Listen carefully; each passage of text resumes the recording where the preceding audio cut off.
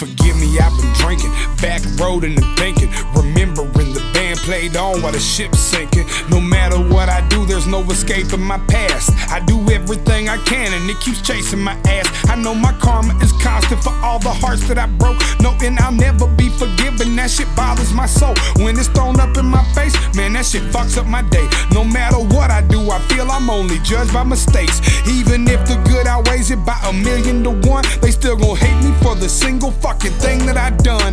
Even if the good outweighs it by a million to one,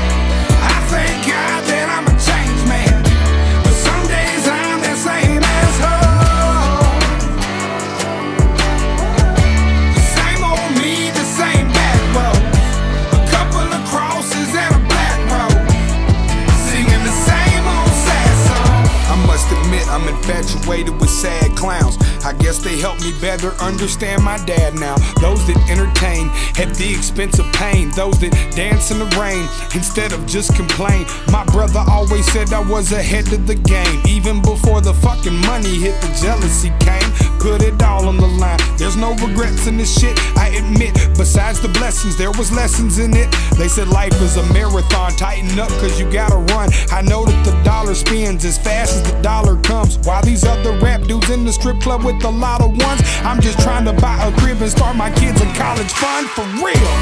I try not to think of hard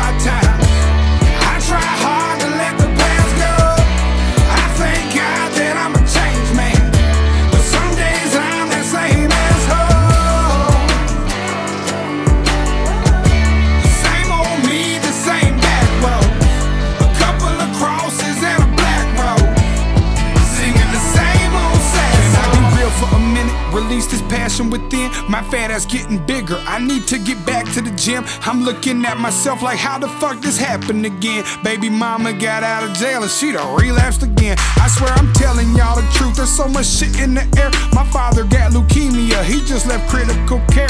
Not to mention, mama's got dementia. Man, she's always feeling sick. I try to help and pay the rent, but she's unhappy as it gets. I cannot complain because my daughter's doing great. Plus, this music shit's a dream. What the fuck you think it ain't? But please make no mistake, baby. After the show, I'm all alone on this road,